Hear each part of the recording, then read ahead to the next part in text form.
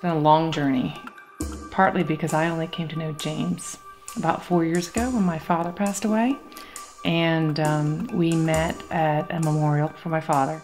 Um, we came to talking about James's artwork and his vision, and, and it was from that point when we came to the studio here that we realized that James's art world, his creativity, his passion, his organic artwork would really resonate in Singapore. I've always wanted to show in gardens. And for the last 10, 12, 13 years, I've really been concentrating on making art for gardens. And by that, I mean outdoors, bronze and stainless steel. Oh man, who wouldn't want to show in gardens in Singapore? That's like a, kind of at the top of the apex in a way. Christine had a dinner party and she invited her friends. She had a friend there named Andreas. There was a real psychological connection. Andreas is a very special person. He's a dear friend. He and his family um, are big supporters of the arts. I think Andreas, when he met James, recognized James' passion as well as the relevance of his artwork there. So I think that is what grabbed him to move this forward. And he was really ultimately the catalyst, not only as a donor, but also in securing a really important, beautiful site in the middle of the Botanic Gardens. The client wanted um, some, some reference in this piece to uh, a dipterocarp seed, which is this tree that's kind of considered the national tree of Singapore. So we went online, looked at, and just started pulling up images of the seed. Okay, here's a bunch of them. And then we, once we made that decision, uh, James and I started making the patterns together for the casting process.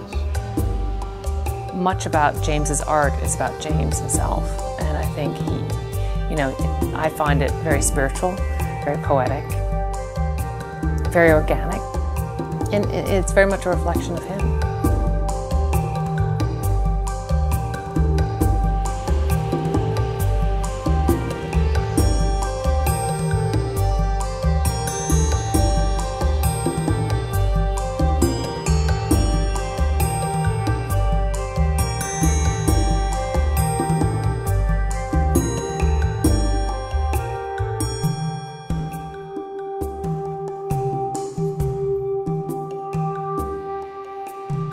There's 50 petals on each flower, so we have 100 of these halves that we have to weld back together and chase the welds down. And then each one of those has a piece of stainless steel tube or pipe placed into it because the bronze in and of itself is, is structurally, it's not uh, strong enough, let's say, to hold this piece, which is going to be 1,500 pounds. The integration of the stainless um, serves that purpose, structural purposes, and as well as visual because it allows us to arrange all the petals in the right position.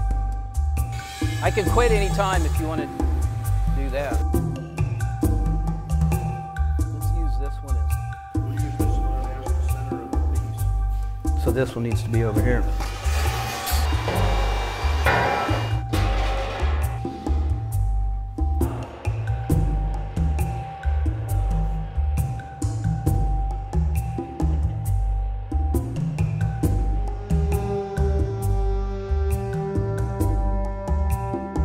When I met Andreas, he said, you know, well, what about if we buy one? That is an extraordinarily positive thing in an artist's life. Now you're looking into the eye of someone who's looking back, and they're saying yes. They're functioning with a smile. There's a there, that connection keeps its upward mobility, so to speak.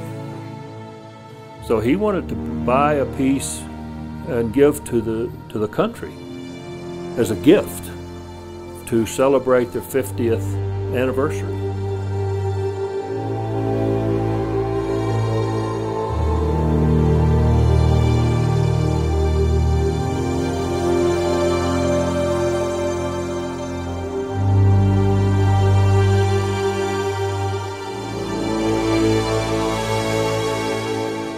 Artists live for that moment. What is that moment? What, what, what am I talking about when I say that moment? It's that moment of affirmation. It's that moment when there is a consummation of concept, an idea.